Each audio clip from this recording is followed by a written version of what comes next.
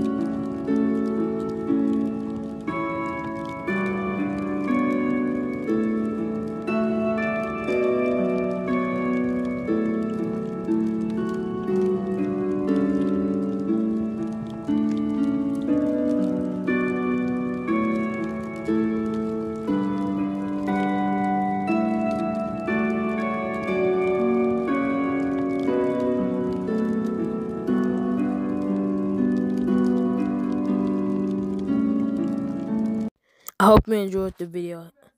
And if you did, make sure to hit that subscribe and like button. Peace out.